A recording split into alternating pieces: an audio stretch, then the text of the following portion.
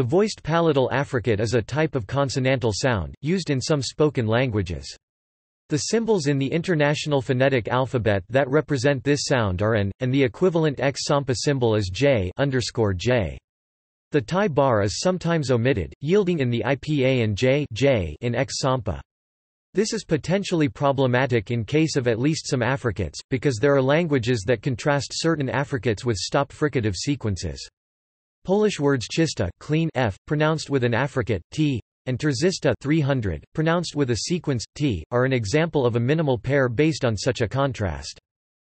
This sound is the non-sibilant equivalent of the voiced alveolo-palatal affricate.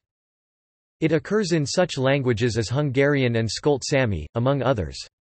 The voiced palatal affricate is quite rare, it is mostly absent from Europe as a phoneme it occurs as an allophone in most Spanish dialects, with the aforementioned Uralic languages and Albanian being exceptions. It usually occurs with its voiceless counterpart, the voiceless palatal affricate.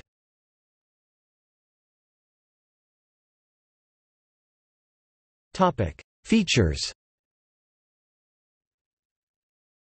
Features of the voiced palatal affricate its manner of articulation is affricate, which means it is produced by first stopping the airflow entirely, then allowing airflow through a constricted channel at the place of articulation, causing turbulence.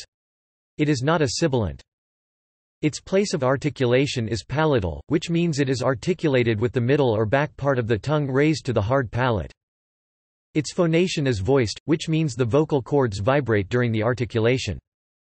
It is an oral consonant, which means air is allowed to escape through the mouth only. It is a central consonant, which means it is produced by directing the airstream along the center of the tongue, rather than to the sides. The airstream mechanism is pulmonic, which means it is articulated by pushing air solely with the lungs and diaphragm, as in most sounds.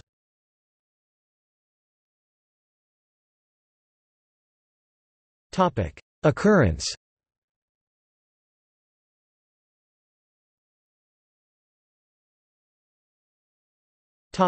See also.